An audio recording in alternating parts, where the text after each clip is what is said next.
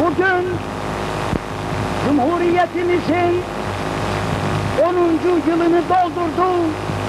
En büyük bayramdır. Kutlu olsun.